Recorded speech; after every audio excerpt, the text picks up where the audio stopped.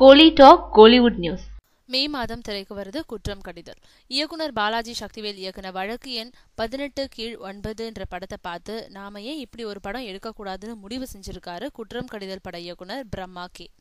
இவர் எந்த இயக்குனர்கிட்டையும் உதவி இயக்குனரா பயிற்சி எடுக்கலையாம். இரண்டரை ஆண்டு படத்தை எடுத்து முடிச்சிருக்காரு. இவருடைய நண்பர் கிறிஸ்டி பொறுமை காத்து தயாரிச்சிருக்காரு. இந்த உழைப்புக்கு இப்போ பலன் கிடைச்சிருக்குன்னு சொல்றாரு இயக்குனர். இவருடைய அப்பா சிறந்த நல்லாசிரியர் விருதை தேசிய அளவுல பெற்றவர்ன்றது குறிப்பிடத்தக்கது.